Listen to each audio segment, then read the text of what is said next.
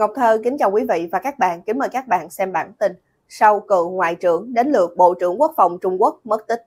Ngày 14 tháng 9, VOA tiếng Việt có loan tin Bộ trưởng Quốc phòng Trung Quốc Lý Thường Phúc biến mất trong hơn 2 tuần.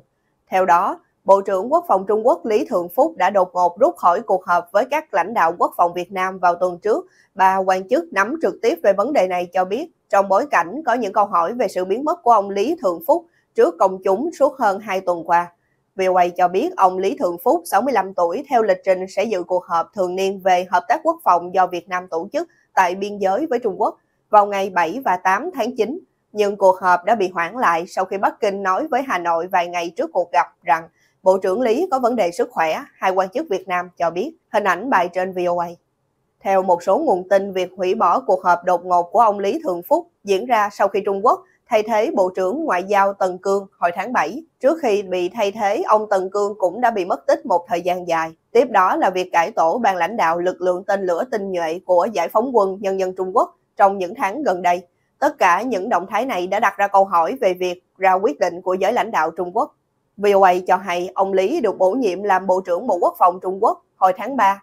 Ông được các nhà ngoại giao và các nhà quan sát theo dõi chặt chẽ bởi vì cũng như ông Tần Cương, ông Lý là một trong năm ủy viên quốc vụ viện của Trung Quốc, vốn có cấp bậc cao hơn các bộ trưởng thông thường trong nội các. VOA dẫn lời quan chức Mỹ nói với điều kiện giấu tên rằng Washington đã biết về cuộc họp bị hủy bỏ của ông Lý ở Việt Nam. Sự vắng mặt kéo dài của ông Lý trước công chúng đã thu hút một số lời bình luận. Đại sứ Mỹ tại Nhật Bản Graham Emanuel viết trên X, trước đây là Twitter, hôm 8 tháng 9, đầu tiên Ngoại trưởng Tần Cương mất tích sau đó đến lượt các tư lệnh lực lượng tên lửa mất tích và bây giờ là Bộ trưởng Bộ Quốc phòng Lý Thượng Phúc cũng không xuất hiện trước công chúng trong hơn 2 tuần. Ai sẽ thắng trong cuộc đua mất việc này, thanh niên Trung Quốc hay nội các của ông Tập Cận Bình? Theo VOA, khi được hỏi về bình luận này của ông Emmanuel, phát ngôn nhân Bộ Ngoại giao Trung Quốc nói với các phóng viên rằng bà không biết có chuyện gì. Ông Lý được nhìn thấy lần cuối ở Bắc Kinh hôm 29 tháng 8 khi có bài phát biểu chủ đề tại một diễn đàn an ninh với các nước châu Phi. Trước đó, ông đã có cuộc gặp cấp cao trong chuyến công du tới Nga và Belarus. Hình ảnh ông Lý Thượng Phúc, Bộ trưởng Quốc phòng Trung Quốc, người đã mất tích bí ẩn hơn 2 tuần qua. Vẫn theo VOA, Bộ trưởng Quốc phòng Trung Quốc chịu trách nhiệm chính về việc ngoại giao quốc phòng và không chỉ huy các lực lượng chiến đấu. Ông ít nổi bật trước công chúng hơn so với Bộ trưởng Bộ Ngoại giao, người thường xuyên xuất hiện trên truyền thông nhà nước. VOA dẫn lời ông Alfred Wu, phó giáo sư tại trường chính sách công Lý Quang Diệu ở Singapore, nói sự biến mất của ông Lý ngay sau ông Tần cho thấy nền chính trị tinh hoa của Trung Quốc bí ẩn như thế nào với thế giới bên ngoài. Trung Quốc dưới thời Tập Cận Bình đơn giản là không cần thấy phải giải thích với thế giới. VOA cho biết thêm, ông Lý đã bị Mỹ trừng phạt hồi năm 2018 vì đã mua vũ khí từ nhà xuất khẩu vũ khí lớn nhất của Nga, Rosoboron Export. Vào năm 2016, ông Lý được bổ nhiệm làm phó tư lệnh lực lượng hỗ trợ chiến lược mới của quân đội. Lực lượng tinh hoa có nhiệm vụ đẩy nhanh việc xây dựng năng lực chiến tranh, không gian và không gian mạng. Sau đó, ông đứng đầu bộ phận mua sắm của quân đội từ năm 2017 cho đến khi trở thành Bộ trưởng Bộ Quốc phòng. Gần đây, chính trị nội bộ Trung Quốc cho thấy những dấu hiệu bất ổn. Ngoài việc nhiều quan chức cấp cao bị mất tích một cách khó hiểu, không một lời giải thích thỏa đáng, thì có thông tin ông Tập bị các đảng viên lão thành ở Bắc Đới Hà khiển trách vì tình trạng kinh tế suy thoái trầm trọng. Quý vị và các bạn vừa theo dõi chương trình cập nhật tin tức của Ngọc Thơ thời báo chấm D với bản tin sau cựu ngoại trưởng đến lượt Bộ trưởng Bộ Quốc phòng Trung Quốc mất tích. Việc Mỹ nâng cấp quan hệ, kẻ khóc, người cười. Ngày 13 tháng 9, VOA tiếng Việt có bài Những ai bị thiệt hại khi việc Mỹ nâng cấp quan hệ.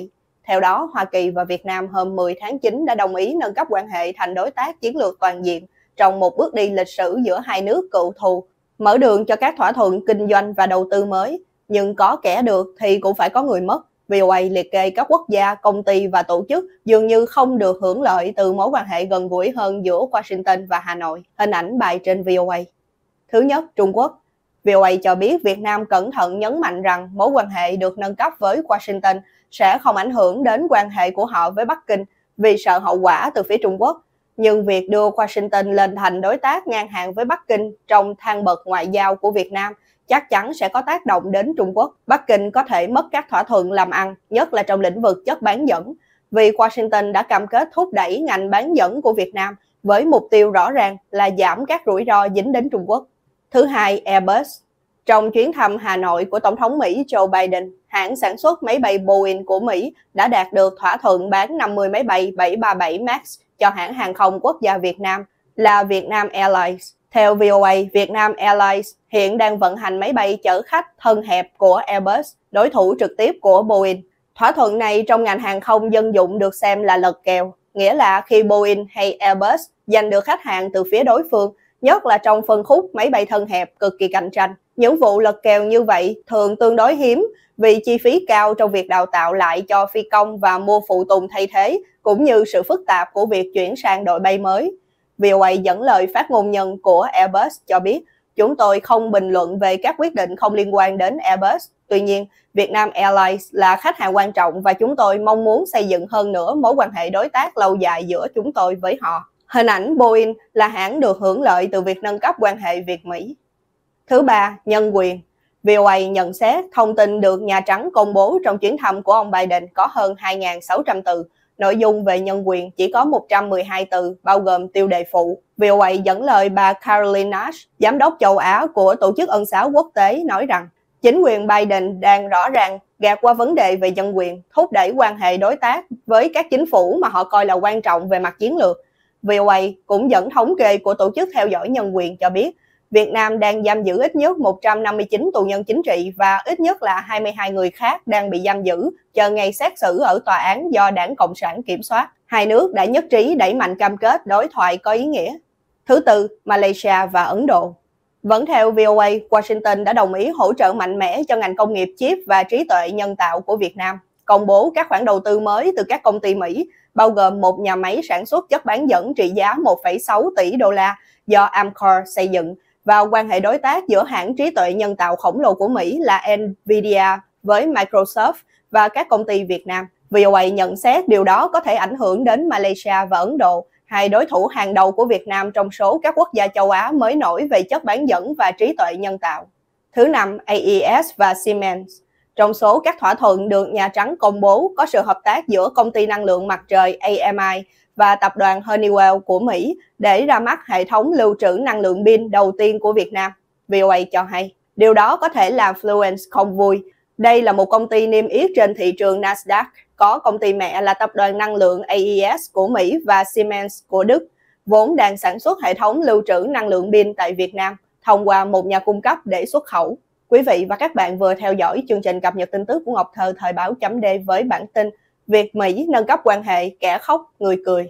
Quý vị và các bạn hãy chia sẻ video này để nhiều người cùng biết cũng như bấm nút đăng ký kênh YouTube và Facebook của Thời báo chấm D để được cập nhật những bản tin mới nhất, nhanh nhất và trung thực nhất. Ngọc Thơ, Thời báo chấm D